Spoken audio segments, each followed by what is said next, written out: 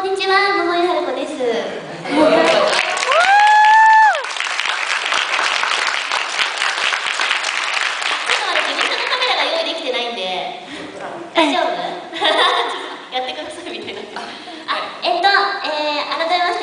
ー、えー、秋葉原から来た桃井春子です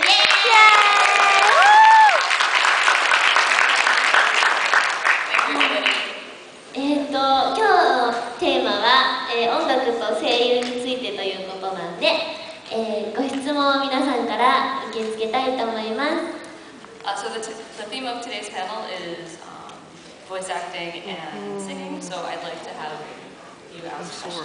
So, じゃあねあのマイクを皆さん用のマイクが1本欲しいですねもう1本ないかな do we have an extra mic or? No.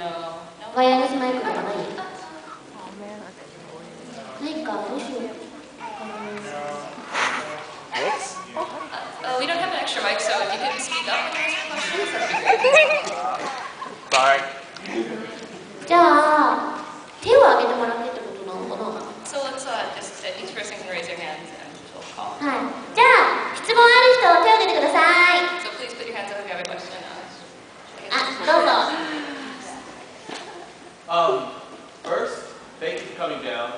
Great. Uh, well, my first question is, you started basically from the get-go as the quintessential geek goddess of your キ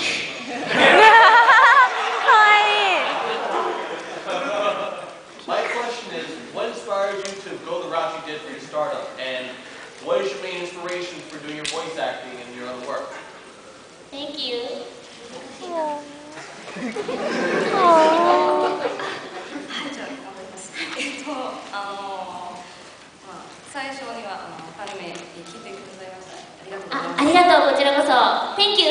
I,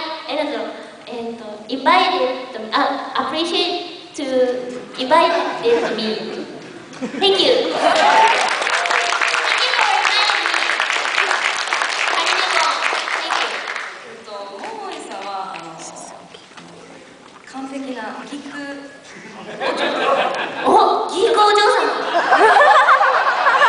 ギークあギクギクギクはギークギクってギク語です。語なゴーですあすごいギークゴーですオーマイギークゴーですすげえ神ってことですか神認定ですかアメリカでもマジですか嬉しいわありがとうございますギークゴーですって言われたってじゃあ今日ブログに書きますよ So I'll write in my blog that I was called the geek goddess today.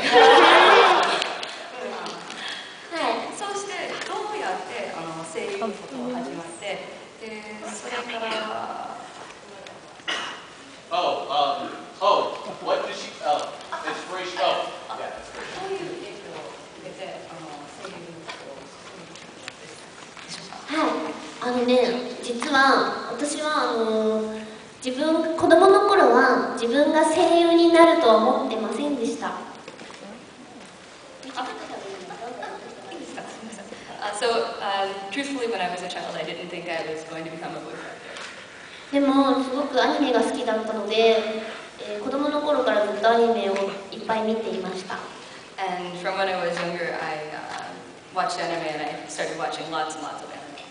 それで、えー、っとね、1999年かなに、えー、ザ・ソウルテイカーのオーディションがあるという E メールをスタッフからもらいました。Um, and in, I think it was 1999, I received an email from my staff um, asking, well, telling me about the audition for Soul, The Soul Taker.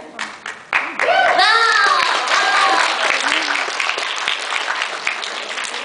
のザ・ソウルテイカーのメインスタッフの人が私のラジオ番組を聞いてくれていてオーディションのメールをくれたんですよ And um, that, that the staff from Soulmaker had listened to my radio show and decided to email me about doing an audition for part. でオーディションに何もわからないままオーディションを受けさせていただいたら小麦ちゃん役に決めてもらったんです Um, and so I went into the audition for uh, The Soul Taker not knowing anything about it, and I ended up getting the role of Komugi.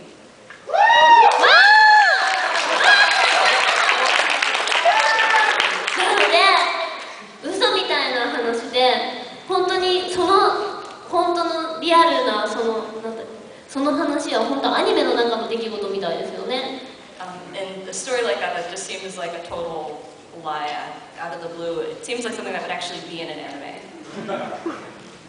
はいそれで声優デビューさせていただいたんですがやはりその声優の現場で声優の先輩や、えーディレクターにたくさんいろんなことを勉強させて教えてもらいました Um, and so as I was starting out as a voice actress, um, my, I guess my, my senpai and the directors were able to teach me a whole lot about it. It was はい、なので、あの本当に、えー自分一人では何もできない状態でだったので本当に当時のあの共演者の人とかえースタッフの方には感謝しています And um, so I started out all on my own, and I didn't think I was going to be able to do anything, and so I'm very, very thankful for all of those people who helped me out along the way.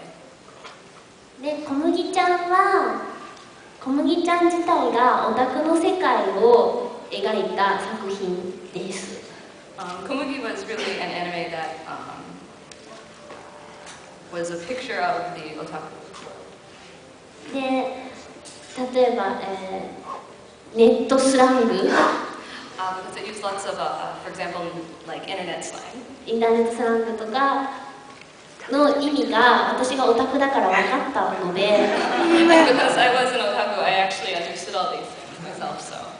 あのアフレコの時は他の共演者の方は例えば「お前もな」って何とか。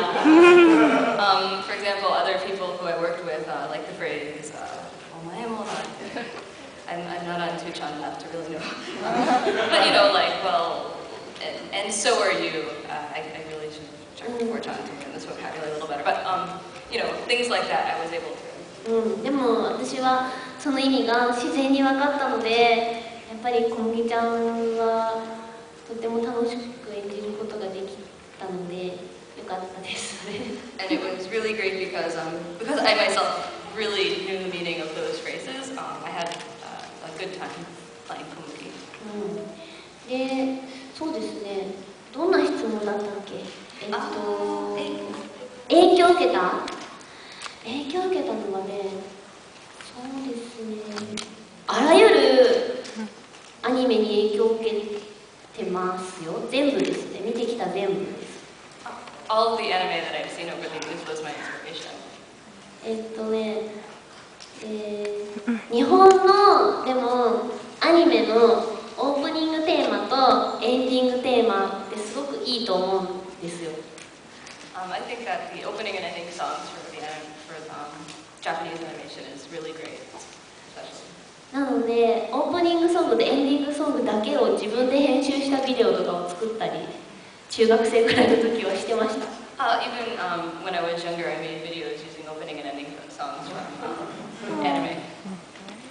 そうやっていっぱい聞いたり見たりしていたので自分が作る時もこうあってほしいみたいな願望を入れて作ってます Um, and since I made those, like I mean, um, seeing all of that, I I could really picture what like an anime would be like, and that influenced me a lot. 特にね好きだったのなんだろうな今出てくるんだとみんな知ってるのかしらクリーミーマミってわかるクリーミーマミ?